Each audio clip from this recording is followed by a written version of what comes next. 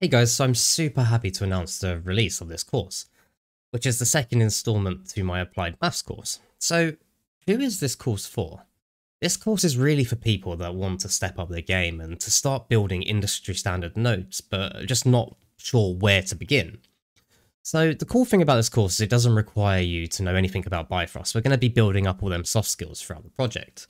The only prerequisite is that I have to ask you for a solid understanding of applied maths in general. So you really need to understand your vectors, matrices, quaternions, how to multiply them all together, and be aware of a multiplication order because I'm not going to be going through that. And what we're going to be covering is we're going to be covering eight topics. We're going to be looking into uh, twist joints, stretchy aim joint systems, uh, push joint systems, springs, uh, caching out uh, matrix deltas per frame, and then we're going to do this last penultimate, which is going to be implementing our own cubic spline. And then we're going to have to do all the reparameterization and then outputting it to transforms. So let's actually have a look in Maya quickly of all the tasks that we're going to be doing. So we're going to start off by creating this uh, twist chain. So what that's going to allow us to do is it's going to allow us to basically rotate around a plane. And the cool thing about this is we're also going to be introducing aim matrices, so we can basically aim that however we want and it will work. So that's really going to be a crash course in aim vectors and or aim matrices and quaternions, and that's going to follow in nicely with our second project, which is our stretchy aim.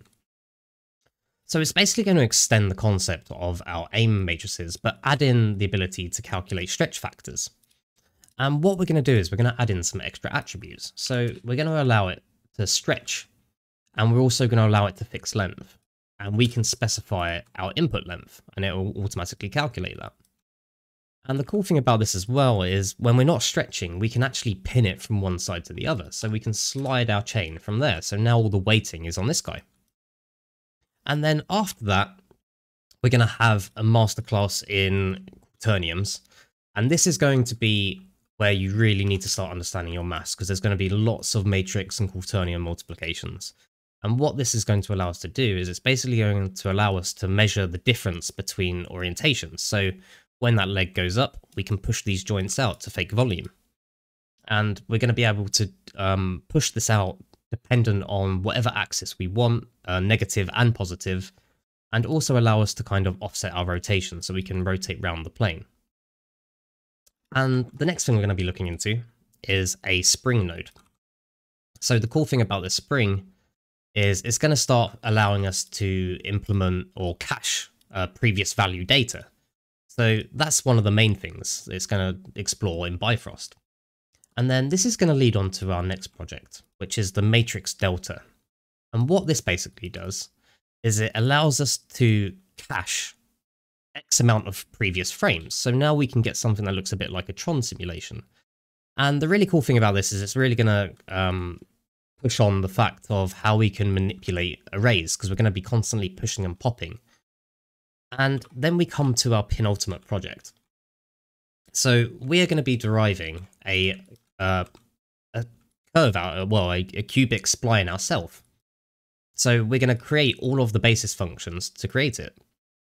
And the cool thing about this is we're going to be implementing a couple of different types of curves. So we're going to have Hermite curves, which are basically weighted tangent curves. And then we're going to add in the ability to start manipulating the tangents a little bit. So we're going to add in this ability to soften up our Hermite tangents.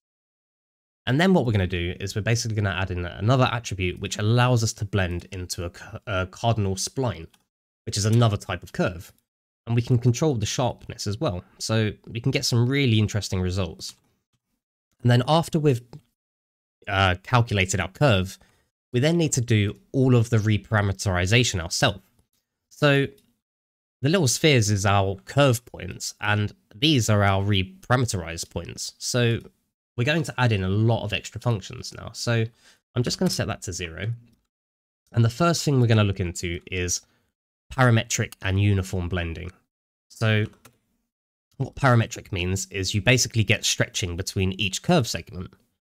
And we're going to create a system of how we can calculate the length of the curve to be able to uniformly distribute. So we're going to be uh, looking into some concepts from um, calculus. So we're going to be using integration to be able to integrate the curve length. And after we've done that, we're going to add in some kind of fun features. So we're going to be able to offset the U so we can basically slide along the chain.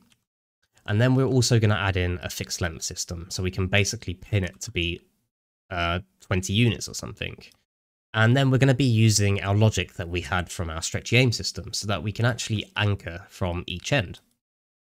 And then to finally finish off, we're going to wrap everything up by outputting it into matrices, which we can control ourselves. And we're going to add in a little bit of icing on the cake where we can also add in twist.